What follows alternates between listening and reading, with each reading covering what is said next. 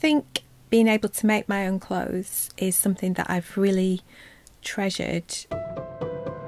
I still make quite simple things, but I think it's really empowering to be able to make your own clothes and make something that fits your body in the way that you want it to. Choose your fabric, choose your buttons. From that, that's how the shop kind of started. But I couldn't find really nice um, tools and things that were a bit more sustainable. So I kind of suddenly had this idea I could make something that was really unique and create products that would be treasured and people would really enjoy using.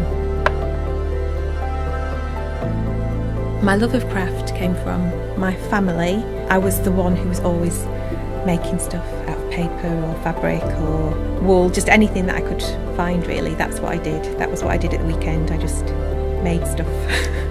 and it's kind of carried on, I guess, throughout my life in, in different ways. I used to love going into craft shops and supply shops when I was younger and it's I suppose it's the idea of the potential of what you can see and what you could make.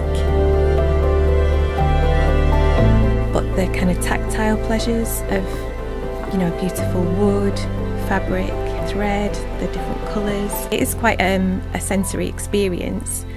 That's what I try to get through on the website as well because obviously it's a different way of, of reaching people. The way that I approach finding things for the shop is to um, look for things that are slightly more unusual or have a more kind of personal touch. We offer the kind of tools for people to to investigate themselves and to grow their skills and to personalise things in their own way so that what they end up with is something really individual and true to them. So we're having a go at, growing our own dye plants, which is all quite experimental, and um, you know we're kind of learning as we go. Hopefully, once we can harvest these, we'll be able to work with people more locally, and people can use the, the plants that we grow to have a go at, at um, producing their own dyes.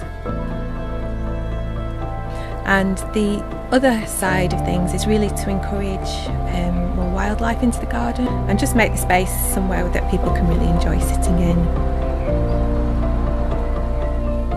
We've got some one day workshops, so they'll be working on a specific project or, or technique. And then I also wanted to I suppose, reach people more locally. So we've started to do some um, social evenings where we've got like a craft meetup where you can just bring your own projects and have a cup of tea and just find some time to, to do some making really. Sometimes it's really hard to see how far you've come with something. So um, you have to kind of step back and see that, you know, from an original small light bulb idea that you had one evening that um, something has grown that people really love and um, can be interactive with through workshops or visits. I do feel proud of what I've done and I think I've really kind of stuck to the core of what I wanted to do over the years.